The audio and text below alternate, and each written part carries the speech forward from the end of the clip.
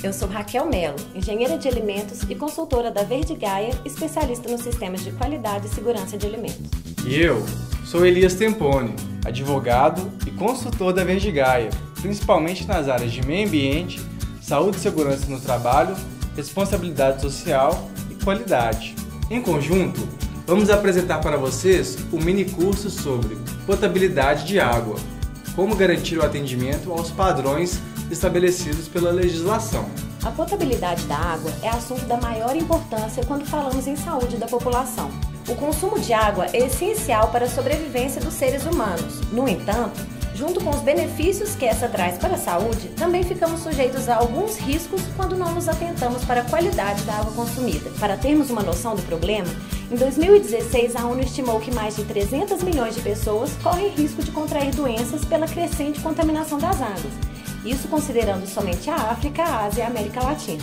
Não é à toa que a norma brasileira que regula a potabilidade da água já se encontra na sua quinta versão, que desde 1977 vem passando por revisões e revogações, considerando o desenvolvimento científico acerca do tratamento e controle da qualidade da água, além de avaliação de riscos.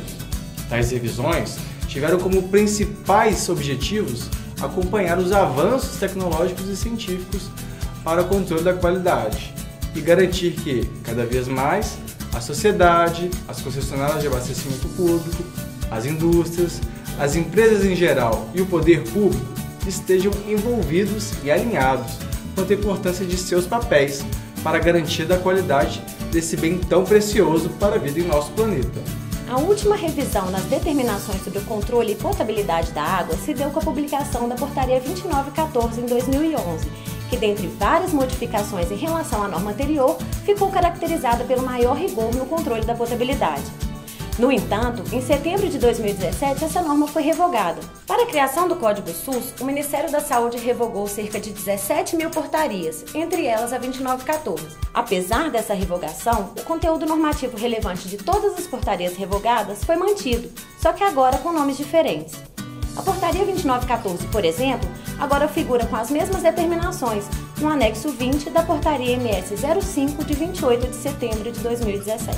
O fato é que sempre poderão existir pontos de dissidência quando falarmos em controle da potabilidade da água, principalmente quando as normas estabelecidas não são tão claras quanto alguns conteúdos.